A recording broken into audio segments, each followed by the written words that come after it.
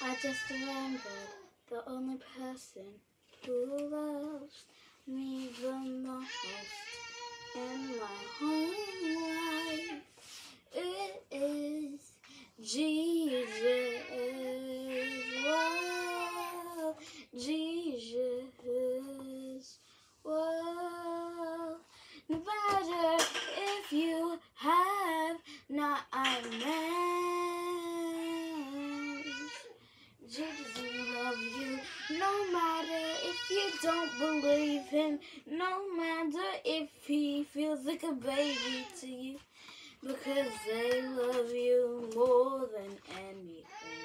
They love you in the whole entire world. Because he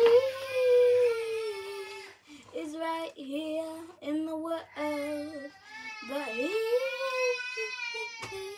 has grown up tall and strong. No matter how big, small you are. Just remember, he always loves you. Whoa, whoa.